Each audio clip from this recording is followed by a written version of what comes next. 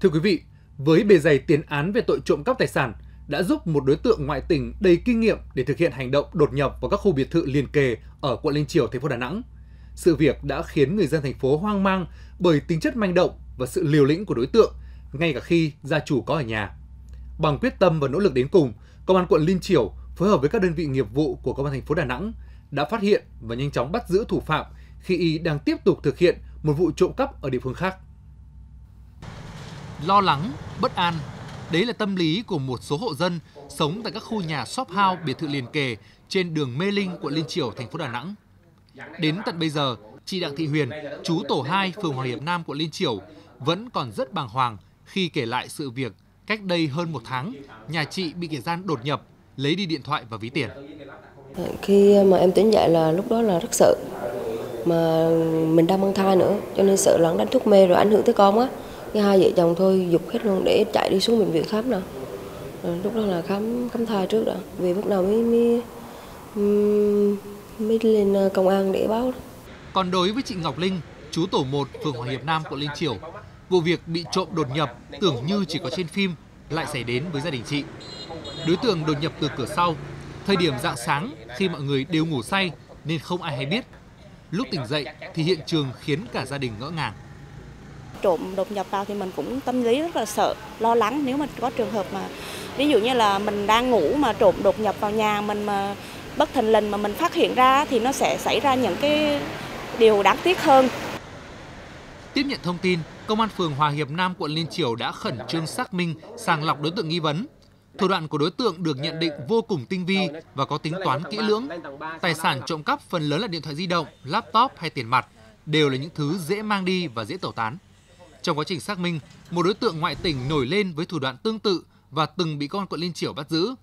Manh mối được tập hợp để đội cảnh sát hình sự công an quận vào cuộc truy tìm. À, đối tượng như thế là rất manh động khi người dân đang ngủ thì đột nhập vào trong nhà à, vào các tầng tầng 2, tầng 3 vào các phòng ngủ ngang nhiên như thế trộm cắp tài sản sau khi có đặc điểm tượng nghi vấn rồi các lực lượng công an phường công an quận các lực lượng dân phố dân phạm tổ chức tuần tra mật phục chốt chặn trên địa bàn phường à, thì qua đó thì đã xác định được đặc điểm cũng như là lai lịch của đối tượng trong khi công an quận Liên Triều và các đơn vị nghiệp vụ tập trung vào cuộc truy xét, đối tượng vẫn đang chuẩn bị đột nhập vào những mục tiêu khác. Bằng sự quyết tâm đến cùng, tối ngày 16 tháng 9, một tổ trinh sát đã truy xét đến tận Quy Nhơn để bắt giữ đối tượng Trần Xuân Trung, 33 tuổi, quê tỉnh Hà Tĩnh, di lý về Đà Nẵng. Thấy nhà nào sơ hở mà không khóa cửa đột nhập vào lấy cắp ờ, điện thoại và tiền vào các cái mục đích tiêu xài cá nhân. Ờ, cái việc mà đối tượng là, là liên tục di chuyển à, sau khi thực hiện gây án hàng loạt ờ, mà ở một cái địa bàn thì nó di chuyển qua cái địa bàn khác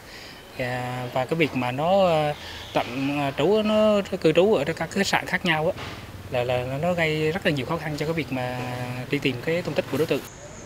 Tại cơ quan công an, Trung thừa nhận đã gây ra hơn 25 vụ đột nhập biệt thự liền kề và nhà dân trên địa bàn quận Liên Triều cũng như cả thành phố Đà Nẵng, lấy đi 26 điện thoại, 5 máy tính sách tay, khoảng 10 triệu đồng tiền mặt, tổng trị giá hơn 300 triệu đồng. Qua các phương thức thủ đoạn của đối tượng thì là cũng cảnh báo người dân, nhất là những người mà ở tại các cái biệt thự à, liền kề, rồi là ở tại à, các cái à, shop house là là phải có cái biện pháp để bảo vệ cái tài sản của mình. Hiện Trần Xuân Trung đã bị khởi tố bị can và bắt tạm giam để phục vụ quá trình xác minh làm rõ vụ án. Khắc phục tâm lý chủ quan, mỗi người dân vẫn cần gia cố các cổng cửa tại những khu vực nhà shop house, biệt thự liền kề nhằm tăng cường biện pháp bảo vệ an toàn, tránh việc tạo điều kiện để đối tượng trộm cắp thực hiện hành vi phạm tội.